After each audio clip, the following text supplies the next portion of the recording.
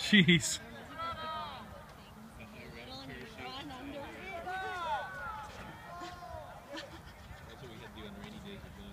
Yeah, that'd be so much fun. put the ball on top and you have to. Yeah. It's so fun. That's what that looks like. You can walk under there.